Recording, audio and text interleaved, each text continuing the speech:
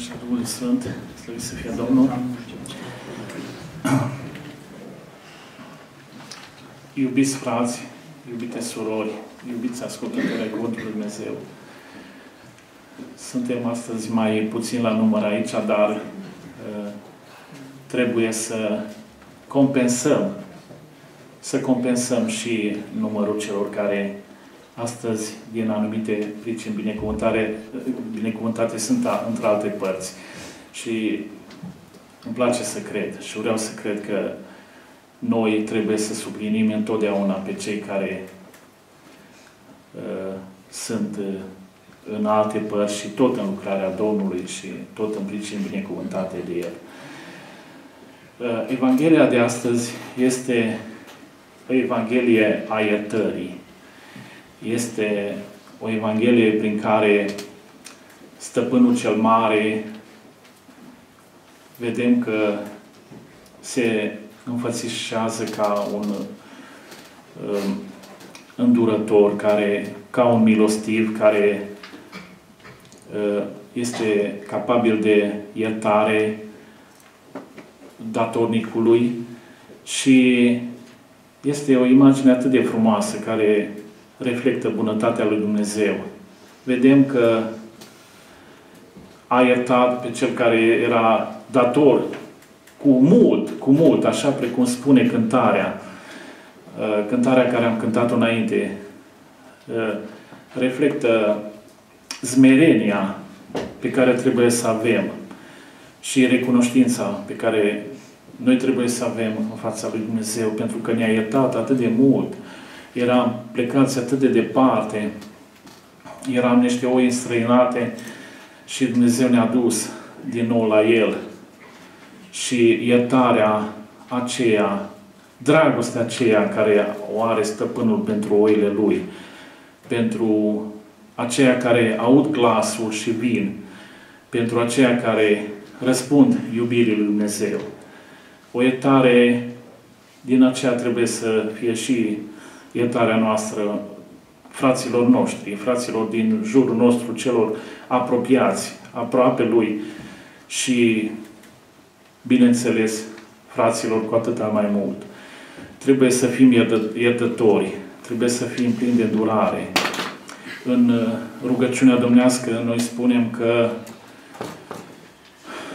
așa să ne ierți Tu, Doamne, precum iertăm și noi greșiților noștri. Uh, suntem conștienți că de câte ori spunem lucrul acesta, dacă nu suntem capabili de iertare, cerem prin această rugăciune o sândă în fața lui Dumnezeu. Pentru că noi avem anumite motive prin, prin care nu am putut să iertăm pe un apropiat al nostru, pe un frate al nostru, pe, pe un semen al nostru, nu l-am putut uh, nici când și n-am putut să-i trecem cu vederea o anumită greșeală mult mai mică decât ne-a iertat Dumnezeu nouă. O greșeală mult mai mică. Datoria care o avea datornicul față de stăpânul acesta din Evanghelie, o imagine atât de frumoasă, era mare, era enormă. Și nu o putea nici cum să o, să, o, să o dea înapoi. Și atunci stăpânul a spus, te vei duce în temniță, te voi arunca, te voi vinde, pe tine și pe toți ai tăi. Te voi vinde ca să obțin uh, un anumit preț pentru tine. Era complet vândut. Și uh, totuși Dumnezeu s-a îndurat. Așa suntem și noi în față la Dumnezeu. Suntem uh, fără, fără a avea noi putință singur să ne să ne revanșăm față de Dumnezeu, să îi dăm înapoi datoria care o avem față de El. Datoria care, prin dragostea Lui, a plătit-o, prin jertfa Domnului, Domnului nostru Isus. Noi nu suntem capabili. Atunci, niciodată să nu spunem că nu putem să iertăm. Spunea Părintele Iosif atât de frumos că în tâlcuirea Evangheliilor că uh, dacă noi nu putem să, să iertăm apropiele nostru, atunci și se plângea cineva dintr-un sat, unde era părintele dintr-o localitate, spunea că nu poate să ierte, chiar lucrul acela nu mai poate să-i treacă cu vederea unui greșit. Și atunci părintele spunea, diavolul nu poate, diavolul nu poate să ierte. Diavolul care pe tine te îndeamnă să nu ierți. Pentru că trebuie să iertăm de 70 de ori câte șapte. Ei, cred, cred că cifra aceasta ehm, la cifra aceasta nu, nu poate să ajungă greșitul sau semenul nostru în fața noastră ca să de șapte ori câte șapte, ci să iertăm să, mai puțin și totuși nu, nu, nu suntem în stare, pentru că uh, diavolul nu poate să ierte, diavolul acela care ne îndeamnă. Și Evanghelia aceasta este atât de frumoasă pentru că Uh, reflectă dragostea și iubirea lui Dumnezeu. Reflectă dragostea aceea necondiționată prin, prin care Dumnezeu ne-a iertat pe noi. Și așteaptă de la noi recunoștință. Așteaptă ca noi să fim recunoscători pentru iertarea aceasta, pentru faptul că El ne-a iertat. Și recunoștința se reflectă în viața noastră prin ascultare, prin smerenie, prin uh, fapte bune, prin ascultarea și, în primul rând, și ascultarea și împlinirea Cuvântului Lui Dumnezeu. Uh, aș vrea să vă citesc puțin de la 1 Corinteni, capitolul 12. Și fiecăruia se dă arătarea Duhului spre folosul altora. De pildă, unuia i s-a dat prin Duhul să vorbească despre înțelepciune. Altuia să vorbească de, despre cunoștință, datorită acela, aceluiași Duh, adică datorită Duhului Sfânt. Vorbește omul înțelept și vorbește despre cunoștință, deci despre cunoștința lui Dumnezeu prin Duhul Sfânt.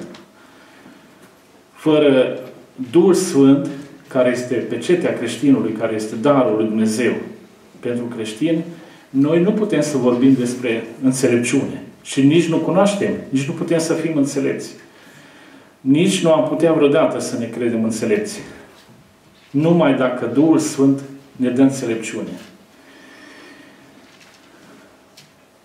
Altuia credința.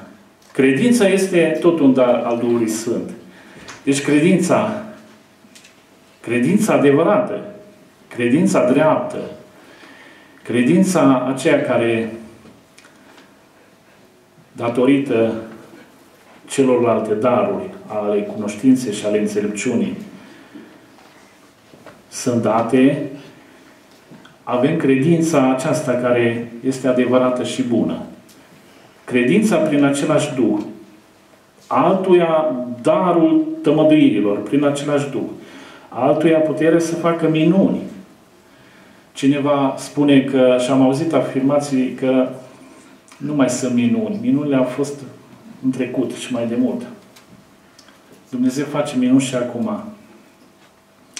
Altuia prorocia, altuia deosebirea duhurilor, deosebirea duhurilor și tot un dar al Duhului Sfânt. Deosebirea duhurilor.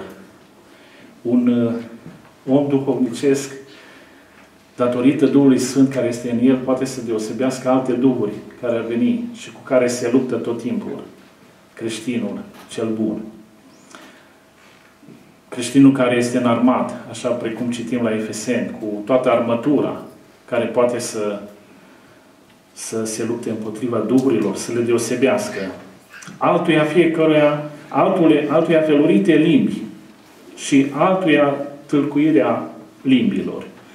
Aici despre uh, limbi și despre tăcuirea limbilor mai spune într-altă parte că Cuvântul Lui Dumnezeu că dacă vorbește în limbi și nu poate nici să, să le tălmăcească, atunci nu este prea important să vorbească în limbi. Este un dar al Duhului Sfânt, dar nu aș vrea să uh, accentuez asupra acestor daruri, care sunt mai în urmă. Și spunea uh, și fratele Traian Dors că acestea sunt mai puține. sunt mai, de mai puțină importanță. Și spune în capitolul 13, am putea să menționăm, să citim, este menționat, mă scuzați, chiar dacă aș vorbi în limbi omenești și îngerești, uitați, este un uh, dar al Duhului Sfânt. Dar n-aș avea dragoste și n-aș avea dragoste, sunt o aramă sunătoare și un chimval zângănitor. Deci, ce am putea să concluzionăm din aceasta? Că, în primul și în primul, primul rând, dragostea este mult mai importantă. Și chiar dacă aș avea darul prorocie și aș cunoaște toate tainele și toate, toată știința, chiar dacă, dacă aș avea toată credința, așa încât să mut și munții, dar n-aș avea dragoste, nu sunt nimica. Și chiar dacă mi-aș împărți toată averea pentru hrana săracilor, sunt și în ziua de astăzi și cunoaștem oameni care fac diferite fapte caritabile, dar nu le fac în numele Lui Dumnezeu. Că le fac cu anumite alte motive. Pentru mediatizare, pentru fală, pentru mândrie, pentru alte și alte pricini, alte motive. Uh, înaintarea în uh, funcții politice sau tot felul de motive. Ei, acestea sunt uh, lucruri care, dacă nu sunt făcute spre slava lui Dumnezeu, rămân așa, la faptul de, la starea de, cum să spun, cum aș putea să mă, să mă exprim, la, la lucruri firești omenești care nu, nu, nu duc, la, nu duc spre, spre, la mântuire. Chiar dacă mi-aș da trupul să fie ars și n-aș avea dragoste, nu folosește la nimic. Dragostea este îndelung răbdătoare, este plină de bunătate. Dragostea nu pismuiește. Dragostea nu se laudă, nu se umflă de mândrie. Nu se poartă necuvincios nu caută folosul său, nu se mânie, nu se gândește la rău, nu se bucură de nelegiuire, ci se bucură de adevăr. Mi-am pus întrebarea, dacă dragostea aceasta ar fi fost tot timpul în mine, mai aveam eu timp ca să bărfesc, să vorbesc cu cineva despre altcineva, mai aveam timp ca să stau în zafistie asupra apropiului meu?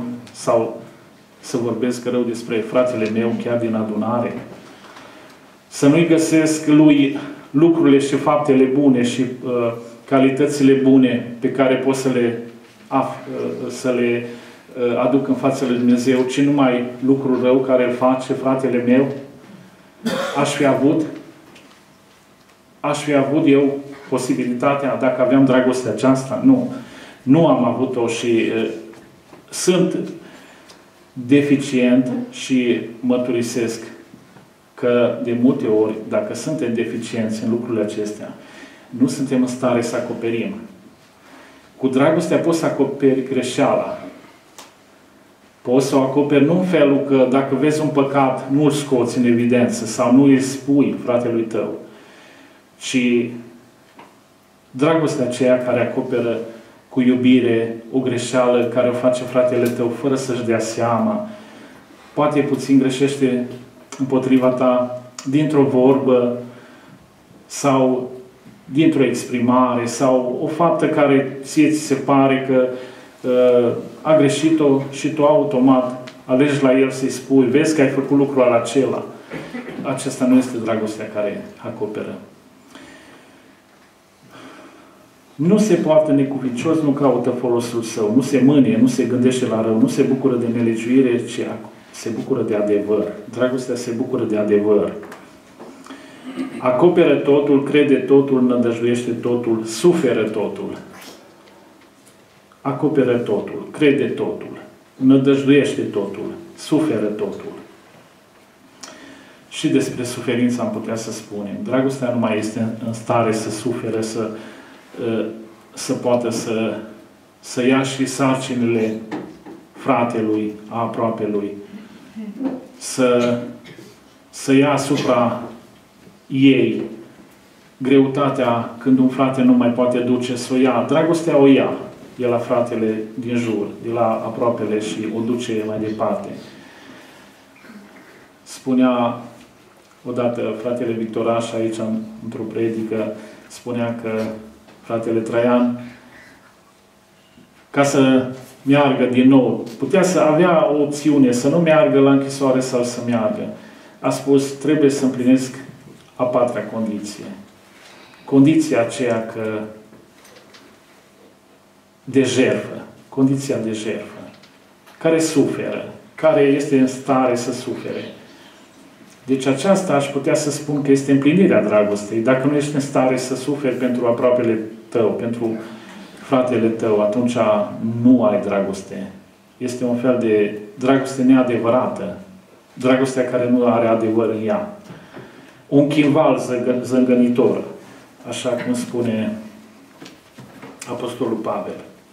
Nu aș vrea să mă lungesc, nu aș vrea să fiu plictisitor, aș vrea să închei și doar să rămânem la câteva idei care nu știu dacă am reușit să le scot în evidență chiar atât de mult. Uh, să fim buni, frați, să fim, să fim aceia care într-adevăr ne putem iubi.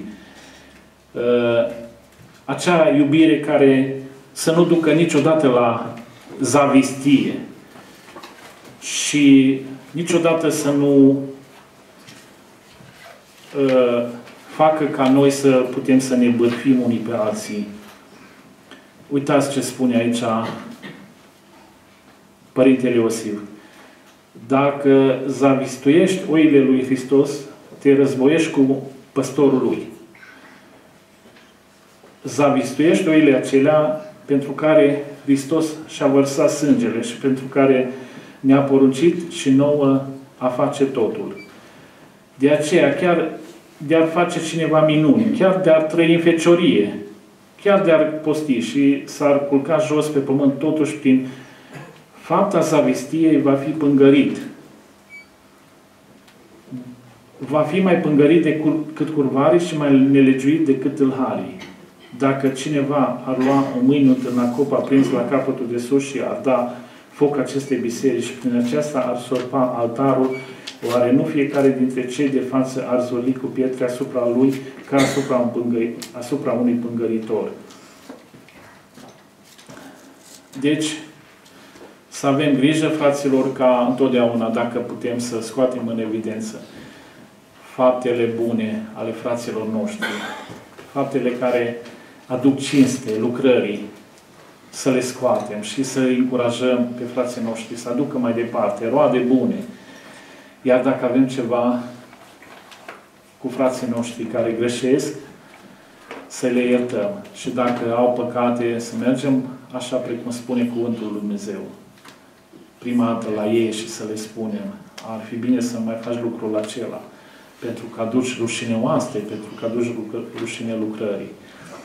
Și fratele Cristi m-a învățat ceva într-o zi, a fost până la mine și uh, a reușit să-mi spună două obiective care le-a citit într-un referat pe internet. Și n-am reușit, deci nu m-a putut să mi le spună numai două dintre ele. Uh, și aș vrea să vi le spun și acestea. Uh, este vorba despre seriozitatea în mulțime. Seriozitatea în mulțime între cei din jurul tău, între colegi, între toți oamenii în Kaufland sau oriunde mergi, o seriozitate. Și aici pot să spun că sunt deficitar și am fost. Apoi, sfințenia în singurătate. În singurătate știm că cel rău vine să-ți dea altceva de lucru decât ceea ce ar trebui să faci. Să te rogi, să meditezi, și să faci lucruri spre folosul adunării, spre folosul fraților. Atâtea poți să faci. Să te rogi cel mai binecuvântat, cred eu. Și apoi zmerenia între frați. Am sunat pe Cristi și l-am spus, care e al treilea obiectiv? Care e Cristi că nu am reu reușit să-l rețin decât celelalte două din față? Era seri uh, seriozitatea mulțime și uh, Sfințenia în singurătate și mi-a spus, smerenia între frați, fraților, smerenia între frați, să știm, să, să fim smeriți, ca ceilalți frații noștri să, să poată să ia și ei cuvântul, să poată să-și spună și ei părerea, să poată să fie ei aceia care tu le dai întâietate și să-i apreciezi mai mult decât pe tine. Să crezi că ei au valoare mai mare. Să știi tot timpul că ei au valoare mai mare în fața la Dumnezeu și tu să fii mai smerit, așa precum a spus cântarea. Și facă Bunul Dumnezeu ca noi să fim iertători. O iertare așa precum este aceasta ă, de care ne spune Apostolul Pavel, aceea care nădăjduiește, iubește, acoperă totul și este un dar al Duhului Sfânt care este, după părerea mea și știu că așa afirmă oamenii duhovnicești, este uh, cea mai, ar putea să fie cea mai primordială. Domnul să ne ajute, să ne dea înțelepciune pentru toate. Fie binecuvântat de acum și până în veci. Amin. Și să